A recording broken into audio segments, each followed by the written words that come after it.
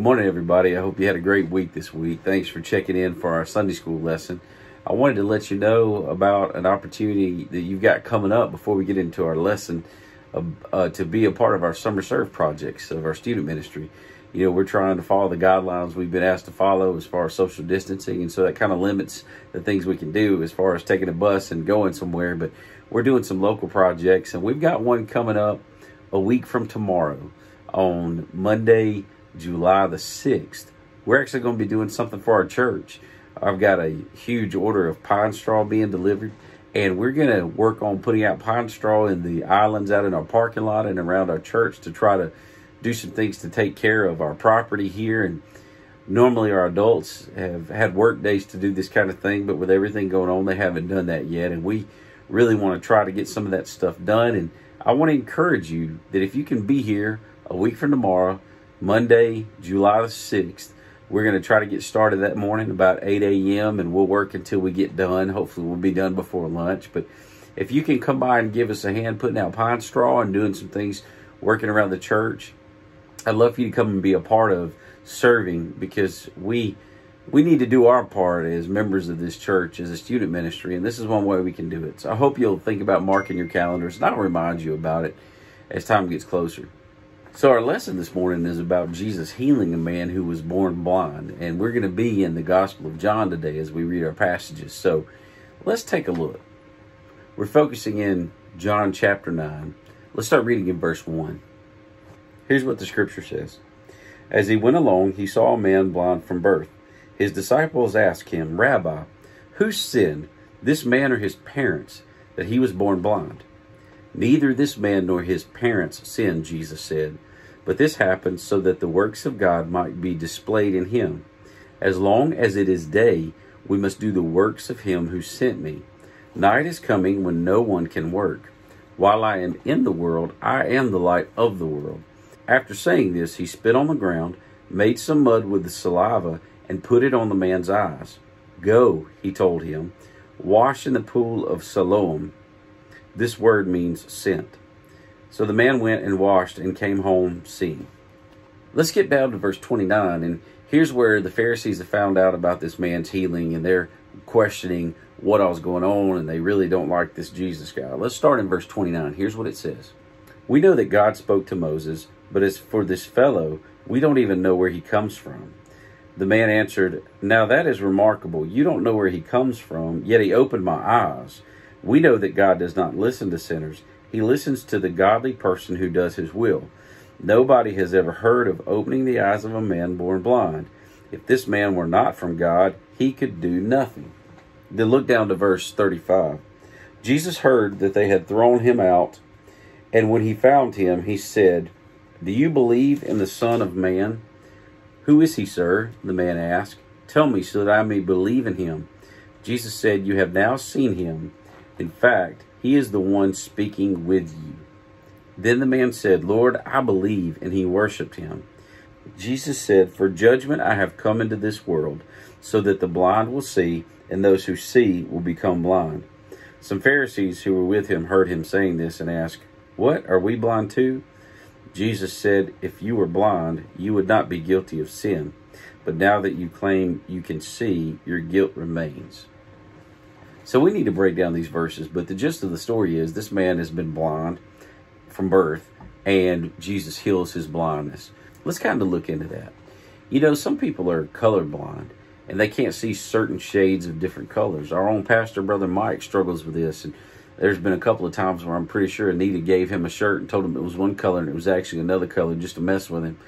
But colorblindness can be very difficult. If you can't differentiate between colors, Think about how rough that would be. We know, modern technology has really helped a lot of people who suffer from color blindness. There's sunglasses that many of them can actually wear, and when they put the sunglasses on, it filters light in a different way and allows them to see color. And I've seen a couple of videos of that, and it's pretty cool because when people see color for the first time, colors they've never really been able to know what people were talking about. I mean, they they light up. They're so excited.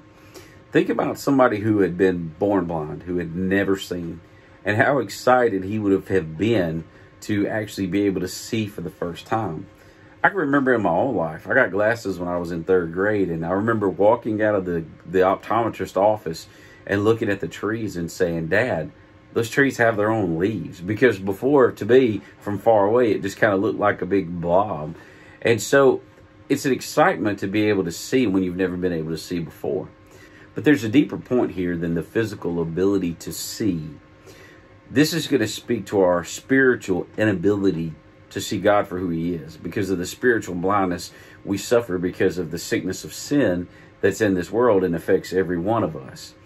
So Jesus is going to heal this man physically, but also spiritually. And it's a picture of what He does for us.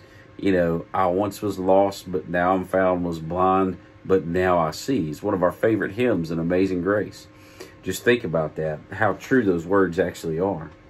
Let's talk about spiritual blindness. What does spiritual blindness look like? What are some of the characteristics of a person who is blind to who God really is? Well, I think that loneliness and desperation and despair would be examples. Maybe addiction or greed or just the absolute necessity to have the approval of other people. Those are all symptoms of spiritual blindness a blindness that only Jesus Christ himself can heal in us. So in today's lesson, Jesus is bringing sight not only to a blind man so that he can see, but he's bringing a spiritual view of the world because he's going to reveal himself as the Messiah, as God's son to this man. And so it's going to forever change his life. Let's talk about his story. So when Jesus comes to this man, they find this man. Some of his disciples around say, okay, so who sinned? to cause this man to be blind? Was it his parents' sin or was it his own sin? And think about that. You know, their understanding of consequences is a little bit different than ours. They would say that because of your specific sin, you receive a specific consequence. Now, that's true in some instances for us. I mean, think about this. If you commit murder, the consequence of your murder would be that you be put in jail or you could be put to death. So there would be a specific consequence to your sin, to the wrong thing you did. But what about people who develop a sickness or develop a cancer? Is that because of a specific sin that they did? No, that's because of the problem of sin that's in the world. So that line of thinking doesn't always work, like his followers were kind of suggesting about this man who had been born blind by saying he's blind because somebody did something really wrong. In fact, though, Jesus does give them a reason for why this man is blind. He says that this man is blind so that I can reveal who I really am through him. I'm going to make him see. And because of that healing, people are going to realize I'm the Son of God. So there was a purpose to this man's blindness, but there's a lot of people in this world who are blind, and they're not blind so that Jesus can come and just heal their physical blindness. So, what do we see the greater picture in this? Well, this is just, like I said, a depiction of the spiritual blindness that we have. You know, until Christ comes and lives in us, we can't see and understand spiritual things the way that we should. If you look around verse 4, where Jesus says that, you know, I am the light of the world and darkness is one day coming, to us today that may be a little bit more difficult to understand because think about this we've got light switches in our homes. Anytime that it's night and we need to see, we just flip the light switch and we're good to go. But you know, back then they didn't have electricity, they didn't have lights like that. Uh, their extent of lighting at night was candles. You know, we've delivered a lot of firewood, and over the course of the past few years in doing that, we've used headlamps a lot because we'll deliver at night. Or maybe you've worked around your house or done something at night and you put a headlamp on so that you can see. Man, that's convenient. But think about it in Jesus' day. In Jesus' day, when the light was gone, the working day was over because there was no way to see what you needed to do. And so Jesus is using that as a reference here that's saying, I am in the world, I am the light of the world, and so we're going to be able to work because of the light that I bring. When darkness is present, you can't get any work done. So when Jesus calls himself the light, think about it like this. And then Jesus says that we're to be the light of the world. And you can find that in other places. We've talked about this in our study of the Sermon on the Mount. And so we need to realize that as Christians, we bring light to this world. We allow work to be done, work for the good, work for advancing the kingdom of God. Just as kind of a side note, there's a reference to this pool of Siloam. In 2004, archaeologists actually discovered this pool. And so I always love to point out times when history and archaeological finds match up. And when it's biblical history and, and references to biblical places, um, I just think it's great that God allows us to have those those little chances to see that His Word is backed up and is true. Now, our faith can't be dependent upon what we can actually put our hands on and walk to and see. Our faith shouldn't be dependent upon that because our faith is in Him, sight unseen. It's believing in what we can't see. But I also think that God gives us those things to encourage us and help strengthen our faith. You know, it's crazy to me how just against Jesus that the Pharisees were. They actually interrogate this man's parents and try to figure out, you know, why was he blind and did was he really blind and did Jesus really heal him? They didn't want to believe what they could see with their own eyes. Just to kind of let you know just how much they did hate him, it, it says here in this chapter, in chapter 9, that the Pharisees didn't know where Jesus was from. But if you look back in chapter 7, verse 52, they did know where he was from. I mean, they're just looking for all kind of ways to throw Jesus under the bus and to discredit him. And then this man who's been healed of his blindness gives the Pharisees a little bit of a lesson in theology. It's pretty sound theology, too. This man says to the Pharisees, You know, he healed me. And so, if something is not from God, it wouldn't have the power to do that. And so, since he healed me, he must be from God. So, he walks them through this matter of fact theology and reaffirms that he believes that Jesus is from God. And then later in the scripture here, Jesus actually tells him, You're standing here talking to the Son of God.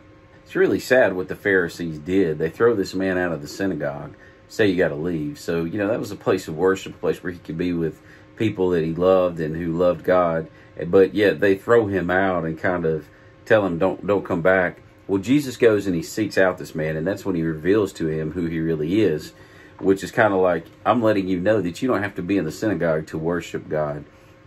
That was just a big part of the Pharisees' power trip, really. They wanted to hold the power and wanted the people to feel dependent upon them. And Jesus' whole message is you're not dependent upon any man for a relationship with God. It's solely dependent upon faith in what I am, who I am, and what I'm going to do.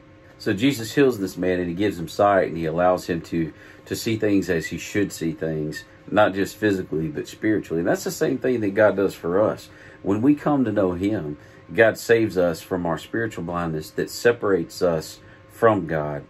And it's a wonderful thing for us as his followers. I mean, it's the gospel message. I love to end with that. I hope that you'll check in with us Wednesday night for our Wednesday night Bible study. I know this coming week is the week leading up to the 4th, and some of you may be on vacation, which is a, a great reason that we're going to be on YouTube and on Facebook. And so check us out for Wednesday night. It'll debut at 6 p.m. And then don't forget that next Sunday, July the 5th, we are moving back to just one worship service. It'll be at 11 a.m on that Sunday, July the 5th. Still no youth Sunday school, no Sunday night, Wednesday nights. That'll be online for our Wednesday night Bible studies, and I'll still post our Sunday school online too. Don't forget to also mark your calendar for that Monday, July the 6th. If you can be here between the hours of 8 and lunchtime on that Monday to help us put out pine straw, we're going to do our best to have a, a huge summer serve project and get some things done here around the church.